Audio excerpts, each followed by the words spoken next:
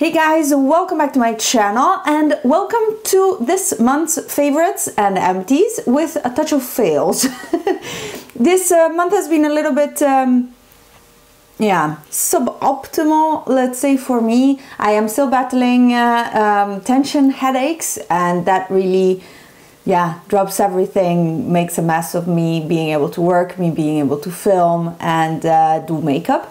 So I thought since this morning I'm not feeling horrible and um, have a little bit of time, I would film this video. I apologize for not keeping up the three videos a week that I was doing so well for, but yeah, that just means that I have to be filming every weekend at least three videos. And um, last weekend was my husband's birthday and it wasn't last weekend, but we celebrated last weekend, and that meant I just cooked and cleaned for one and a half days. you might have seen the food that I made on my Instagram stories, but we're not here for food, we're here for makeup. So let's get into the favorites first. You might have seen in uh, one of my latest Get Ready With Me's with new products, I tried soap brows. And uh, I have to say, I was very skeptical because I didn't think it would look good on me. And um, I have to say, I um, I am almost a convert uh, to soap brows. It looks very nice. They stay in place like no other brow gel. Literally no other brow gel does the same as soap brows. For soap, I use this uh, Korres Chamomile one. Let me see if I can avoid getting soap everywhere. This is what it looks like.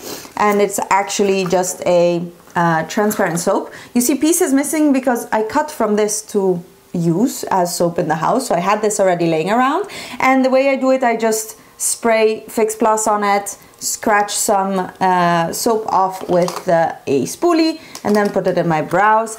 And after that, fill it in with a pomade.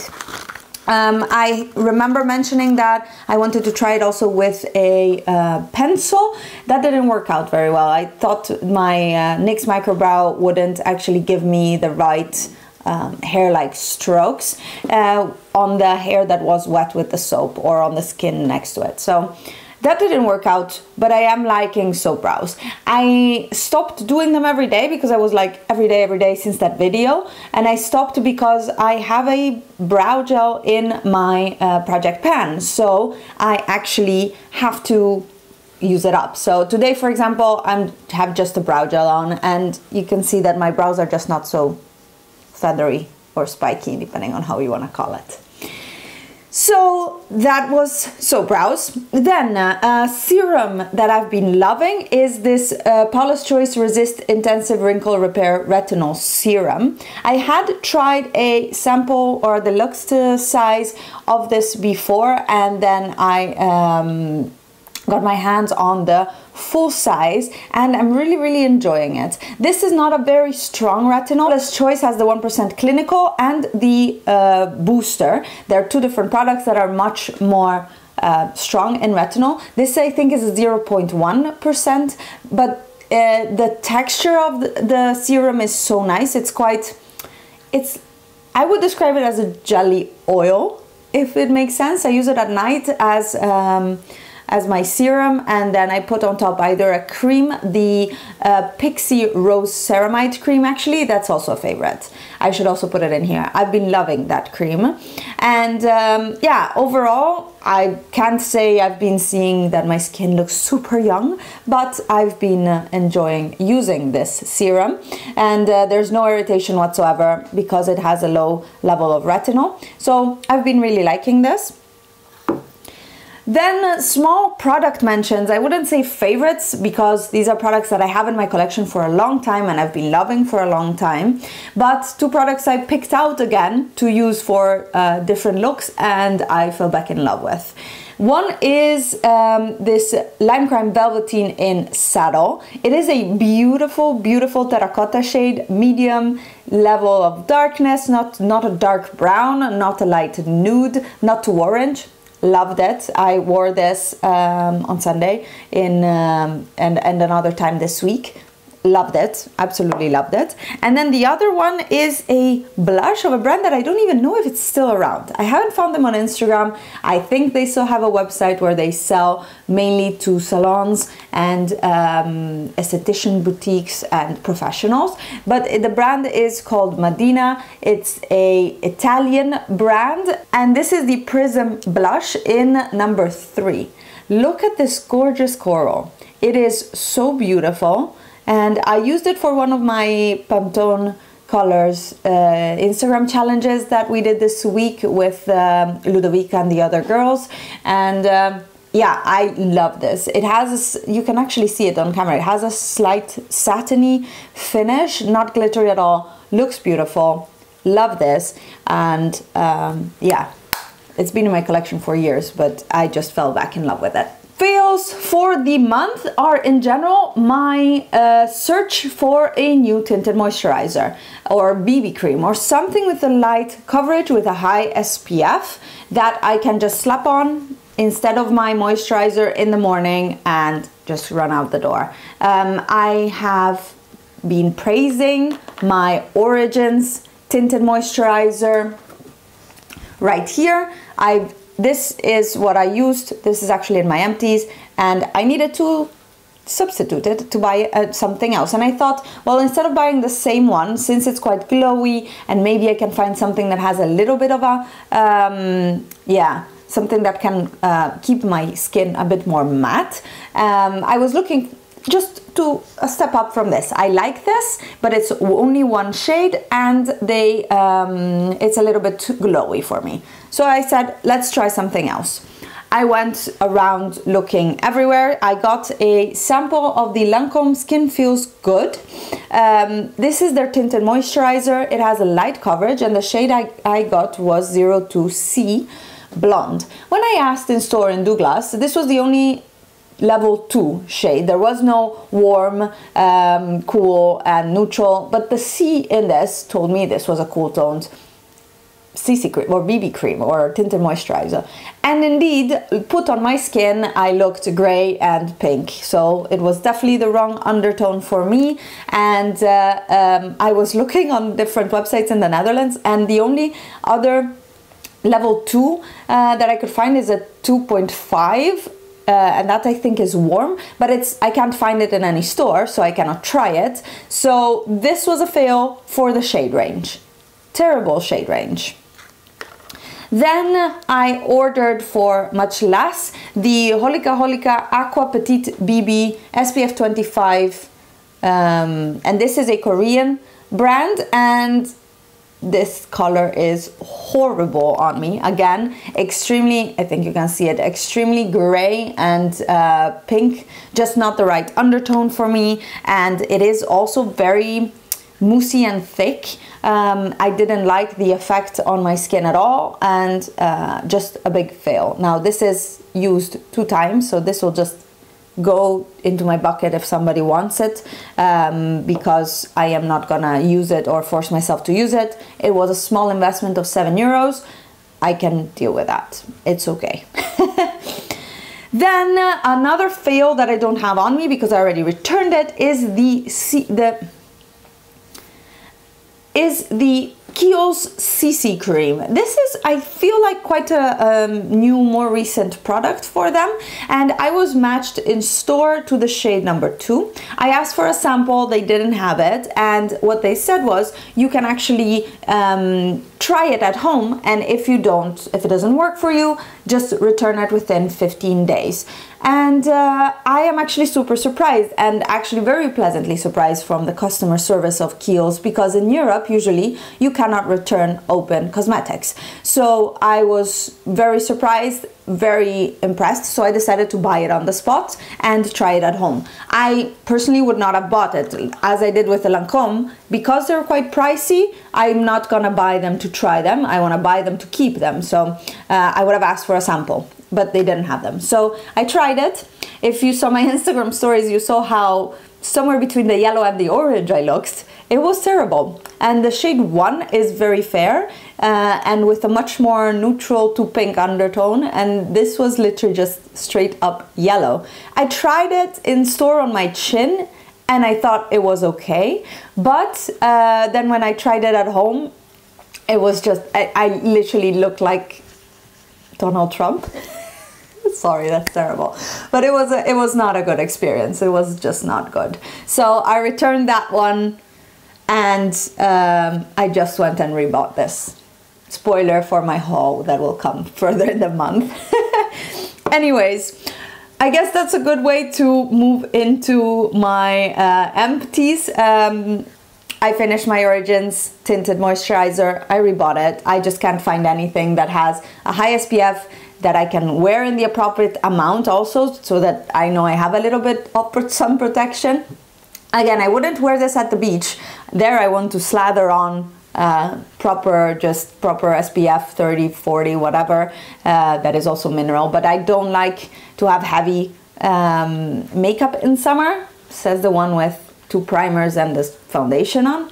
But that's because I haven't opened the new one of this yet. So this does the greatest job with a light coverage and a, um, a high SPF of 40. Love it, glowy. I can recommend it for all skin types. I uh, personally um, set the center of my face with a powder, but for the rest it looks really good. The only thing is there's only one shade and that is already too light for my mom, who is just an Italian olive tan skin tone. So um, Origins, please expand the range, do more shades. Um, this is one of those where you mix it in and it kind of breaks into the pigment um, particles in the cream and um, it does kind of melt with your skin tone, but there's only such a range that they can actually cater to. Now that I blabbed about it, Another empty uh, is the Pixi and Caroline Hirons double cleanse. Now this I am a little bit disappointed with because this only lasted me one or two months. Um, and uh, this one had a cream cleanser and an oil cleanser inside. So you get two products. It cost around 30 euros but it didn't last a long time. I remember with my body shop cleansing oil. It took me months, months, months, months, half a year to a year to finish it. And I was using it every single day to remove my makeup. And then I go in with this balm and it's done in one or two months. So um, I thought it was a little bit too little for the, uh, too, too little amount for the price that you pay. It's two times 50 mils. So it's not a lot, but 30 euros is quite a bit. So I loved the, texture of both. I definitely, if you have the budget, buy it. But for me, it was not, yeah, it lasted too little. That's the only thing. Going into my empties bag. Oh, um, I took a bath. So here is the package of my Avo Bath by Lush. This is a bath bomb that I keep repurchasing. I love this bath bomb. It smells great. It moisturizes the skin um, and it's blue, minty, teal I don't know, it looks very nice um, in the bath. So I use this one up. I can definitely recommend it. Next up is uh, something for hair. This is Joico Animate. This is discontinued, but I used to use it for my um, curls as a, as a styling product to make my hair curl and for my curls to last a little bit longer. And I actually miss it. I've finished it now for a few weeks and I've been using a gel in place. And excuse for my hair it's not really great but you can see that there's it's not like the gel keeps much more curls than this Joico Animate and I feel like the gel makes my hair dirty faster whereas this one wasn't. So I miss it. I know it's discontinued and a lot of people working with Joico miss it but um, I finished that one. Then I don't remember if I already showed you this but I finished the Chemistry brand Heel Chemistry um, cream, foot cream. This is the big one of 100 mils, and I love this stuff. This is the best foot cream I've ever tried. It has, um, it, it really changes the look of your feet. If you just apply it, it does both the exfoliation and the hydration, moisturizing, everything. It's not greasy. I apply it in the evenings, just when I'm in bed, put it on my feet and then go to bed. And uh, what it also is positive for is calluses on my hands. And um, I like to lift weights uh, with barbells. So I get calluses here by lifting, by holding the barbells here and here. And uh, this cream does a great job while I massage it into my feet to also take care of my calluses on my hands. So two in one. Love it. I already have a new one that I purchased with their Black Friday sale, and um, yeah, I'm using it now. It's perfect for spring to get ready for summer feet. I would say. I finished a mask. I am on a quest to finish all of my uh, travel sizes and sample sizes of face masks because I, I haven't bought a full-sized face face mask in a long time um, because I have so many. And this is the Boscia Charcoal Pore Pudding. It was a little swirly thing. Um, I think you can probably still see the swirl in the lid or not really, I don't know. It was this two component, one white and one black. And um, it smells really nice and spa-like, but I didn't really see particular, I don't know, pore cleansing capabilities. Like straight up green clay does so much more but of course it's more drying. So uh, this I could apply all over my face. I used to uh, usually apply it just while I'm coloring my hair or while I'm in a bath when I have time in between my beauty routine uh, on the weekends usually Sundays or so. And um, I would not go out and repurchase it. I think the full the full size is 38 dollars. I think this is a travel size, yeah, 35 of 25 mil. Um, but the full size is 100 and something, and it's 38 dollars. I think that's too much. Uh, for a mask that didn't per se clean out my pores that much. Oh, and of course, if I was doing my face masks very often, it meant I took baths, the Lush Avo bath, and I colored my hair. So I have another empty of my MajiRouge. I use the shade 5.64 and yeah, I colored my hair. I have quite a few gray hair um, and I need to cover them. There's no question about that. I finished another um, travel size of the Pixi Glow Tonic. Um, I refilled this because I have the big bottle that Pixi gifted for Christmas and um, I refilled this one because the big one doesn't fit in my drawers in my cabinet. So I finished another one. I'll go re refill it and put it back in my uh, cabinet. Right now I'm actually using the Cosrx BHA and AHA um, toner so I'll wait a little bit to use this. What I have actually been doing because I have an excess of it and I know that I'm not going to run out anytime soon is I actually been using it on my legs um, after shaving or epilating so that um, it prevents from ingrown hair and uh, all the little bumps that I get when I epilate my legs. So that works really well. Also some like side hack for your AHA. Next is for body. I finished this Dove Dermaspa Summer Revived. I used the medium to dark and this is a gradual sunless tanner, a gradual tanner, and you can just get this at the supermarket. It works great. The only thing you need to make sure is that you wash in between your fingers and your, the palms of your hands after moisturizing your body. It gives you a very natural um, look to the skin and uh, it comes out clear but then uh, of course it tans your skin. So yeah I finished it. I used tons of these over the years. I remember writing about it on my blog when I didn't have a YouTube channel two or three years ago. So yeah love this one. Definitely recommend it to keep a little bit of a healthy tan. More masks. This is the Sephora pineapple face mask. I I don't know, this is supposed to be pore perfecting and smoothing. I didn't really see anything particular, but it was a pleasant experience. Let's put it that way. I like to do face masks. Uh, I take a bath, I do my pore um, or my clay masks, my pore purifying masks, and then I put on a sheet mask. Moving on.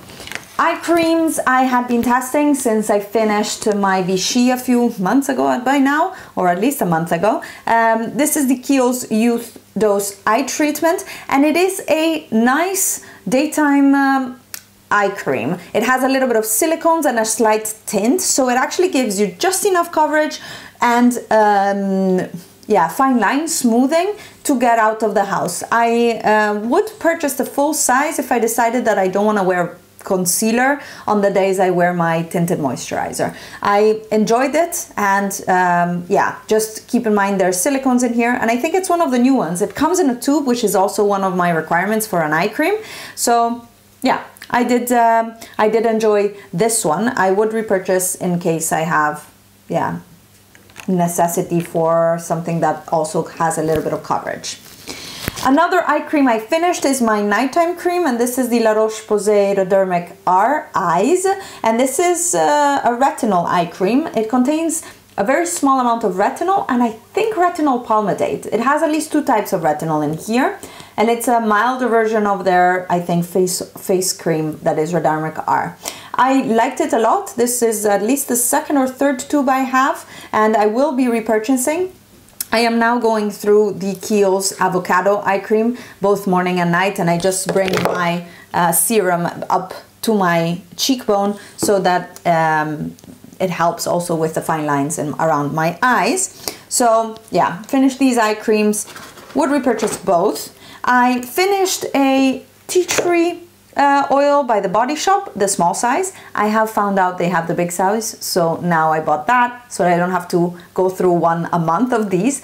I use this daily, twice a day actually, to uh, disinfect my piercings, and they're actually doing so much better. Um, so I know I need to cut my hair, but um, they're doing so much better. We're around the 10 month mark and they were a pain to heal, but um, we're almost getting there. I think this summer I might go to a piercer and get them switched out so that I don't have to deal with these studs anymore. I just want pretty jewelry in there. So yeah, another tea tree oil, which I already repurchased. Um, I think I already talked about the Marc Jacobs mascara enough in my project pan, but it's here in my empties because it's empty. So um, you've heard all about it in my project pan already. Then I finished the Kiko, this is the Perfect Gel Top Coat, and um, yeah, I liked this. Uh, I have other top coats I'm, I'm using right now. I'm using Sèche Vite um, right now, and uh, this was just a nice, on the thick side of the top coats, but it's a gel effect, so it was very shiny, and um, I couldn't get anything out anymore, so this is going.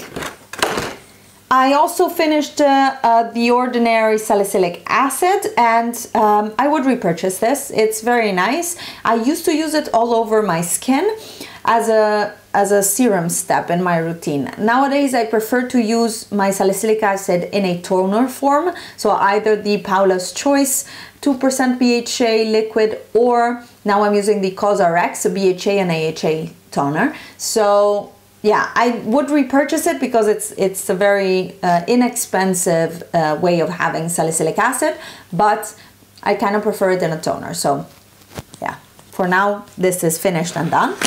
And the last thing I have here is a sample size from Sephora in Italy where I uh, went in October of the Born This Way foundation from Too Faced. I hated this. It sunk into my pores, it settled in my lines, it separated on my skin. I hated this. I don't know why some people really love it. It did not work for me and I had it full so I used it at least three or four times. I just didn't like it. It didn't look good on me at all. And that was that. I chatted so much that my camera switched off after 20 minutes of blabbing. So I, I thank you if you made it this far. I hope you enjoyed these um, roundup videos. I just don't think my favorites are long enough to make them by themselves lately. So um, yeah, I just put everything condensed. It was a good month for the empties. I will put my total here because I haven't calculated it yet. Bad YouTuber. And I will leave it at this. Don't forget to subscribe to my channel to follow my content and thank you for hanging around. I know we're 1800 which is a nice um, yeah a nice uh, milestone and uh, let's push towards 2000 we'll make it eventually i guess i don't know it is uh, the the numbers game is just not interesting these days. Um, I feel like I want to share, so I will keep sharing regardless. And I hope you guys enjoy my content, and I will keep doing it for you guys. Let me know what you thought about these products uh, down below. If you have any eye cream or tinted moisturizer tinted moisturizer recommendations, I can't speak, and I will see you in my next one. Bye, guys.